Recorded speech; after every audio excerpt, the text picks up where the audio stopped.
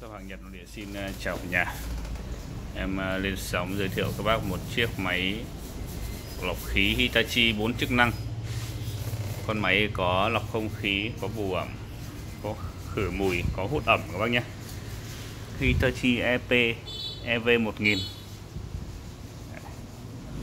Con máy đa năng các bác dùng cho phòng rất là tiện những cái ngày à, nồm các bác hút ẩm ngày bình thường. Thì các bác chạy lọc khí còn những ngày khô thì các bác bù ẩm. Đấy, đây đang là chế độ hút ẩm các bác nhé. Bù ẩm này. Đấy. lọc không khí khử mùi. Đấy. đây sang đây là chế độ bù ẩm. Bù ẩm thì nó hôm nay độ ẩm cao. Này thì nó sẽ nhảy độ ẩm cao các bác nhé. Nó sẽ không bù đâu. Đấy, sang lọc khí. Con này thì à, nó là điện 100V các bác nhé không đấu được điện 220V đâu ạ. Đấy, nó nguyên bản điện 100V hình thức thì như trên hình các bác nhìn thấy. Một chiếc máy đa năng đủ 4 tính năng. Lọc khí khử mùi bù ẩm hút ẩm. Đấy.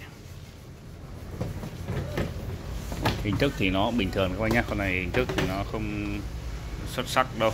Hình thức bình thường thôi. Màng biết còn rất là mới nhé. Màng khá là mới các bạn nhé. Con này thì nó có cái màng than ờ, rất là dày. Dày nhất trong phân khúc luôn. Cực dày luôn các bạn nhé. Đấy. hơn một ly. Màng HEPA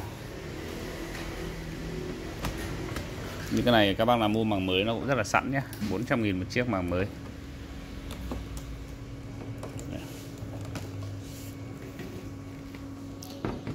Một chiếc máy đa năng đa di năng.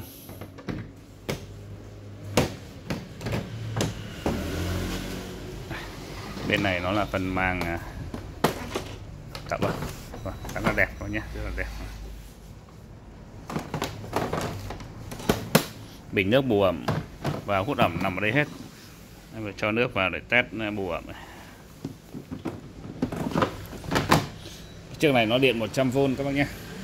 Các bác nào có nhu cầu à, lấy qua lô cho em em bán chiếc này là 2 triệu 9 nhé. Giá siêu rẻ luôn 2 triệu 9 các bác nào lấy alo cho em nhé. Chào các bác. Giá chưa phí vận chuyển trên bên áp các bác nhé.